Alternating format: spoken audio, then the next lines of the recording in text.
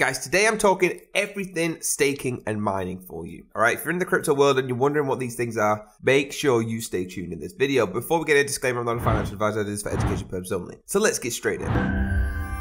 So we're talking about staking straight away. Now you can see over here on Coinbase, it's probably one of the biggest crypto platforms out there. All right. And it does dive in about staking for you. Now staking, how does it actually work in general? If a cryptocurrency you own allows staking, Current options include Ethereum, Tezos, Cosmos, Solana, Cardano, and others, right? You can actually stake some of your holdings over time. So let's jump over to one of these and just have a look. So let's have a look at staking Solana. So if you go over to Solana, right, there's actually ways that you can get involved over here and start staking it. Okay. Now, in general, you don't need to be confused about what staking is. If you had $5,000 worth of Solana and you knew you weren't going to spend it, okay, you could stake it. If you're not going to take out, if you're going to hold it, why not stake it and earn rewards on there? Now, guys, you can go on any of these. There's Cardano, like I said, loads of different ones where you can earn crazy amount of money staking. All right. So when you do go onto a program, please, please make sure you search staking on their website and see what they have in offer, all right? So again, like it says here, okay, the reason you earn rewards while staking is because the blockchain puts it to work. Cryptocurrencies that allow staking use a consensus mechanism called proof of stake, which is the way they ensure all the transactions are verified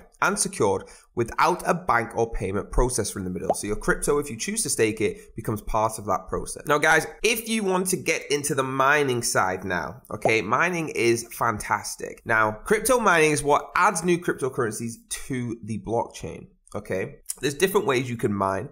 All right, and this is one of the best places I've seen, NiceHash.com. All right, we can actually sit here, get involved, and learn all about it. So please, please do your research into these as well. Now, to verify a transaction to mine, okay, it has to be a very complex sum. Now, let's take Bitcoin, for example. Bitcoin right now is at 28,561, okay? They have a market cap of 552 billion. This might be a bit confusing to you, but what I'm trying to get at is to mine Bitcoin when it first started, you had to make a mathematical sum. Now, the sum wasn't that hard, okay? Maybe this is an example, don't quote me. Maybe it was 2 plus 2 equals 4, okay? That got you the first ever Bitcoin out of the billions that there is. Now, there's only a certain certain amount of Bitcoin out, okay? There's a max supply of 21 million and there's a total supply of 19.3 million already, okay? So when number one came out, it might have been two plus two. Now it's gone on so much, we're in the millions, 19 millions. The mathematical sum is so powerful that you need a miner to help you. All right. Literally, you need powerful computers to work these sums out. And that's what mining is. There you go, guys. Do me a massive, massive favor. Hit that like button, hit the subscribe button, hit the bell if you want to be notified.